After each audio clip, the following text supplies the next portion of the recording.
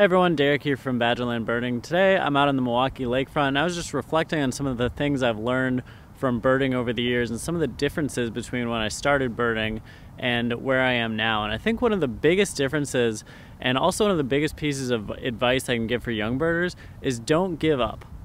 So I mean this in a couple different ways. One, you know, if you find birding difficult at first, like keep pushing through. You'll get some of those really key moments where you find a species you didn't think you were to see, or you find your first rare bird. They really keep that spark alive. But also, if you're at a location looking for a bird that was reported, you know, maybe a couple days ago, maybe earlier in the day, don't give up. When we started, we'd go places, we just we'd look a little bit and we go, ah, it's not here, and then we leave. Then someone else would report the bird there like a couple hours later and be like, oh, how did we miss it? We should have just kept looking.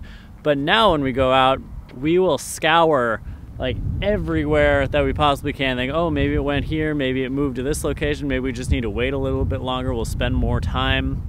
And so I think that's just a big difference. And as a result, we find more birds. And uh, you can also turn up other things because you're looking in other areas. So, big piece of advice don't give up, keep looking, um, really be thorough with everything in an area. Think, you know, if there's something there, you'll find it. When you leave, you should know I looked everywhere I possibly could. Sometimes the birds just go out of view, they come back later. It's it's all part of it, but at least you'll know you gave your best efforts. That's my big piece of advice for the day. Don't give up. Thanks for watching.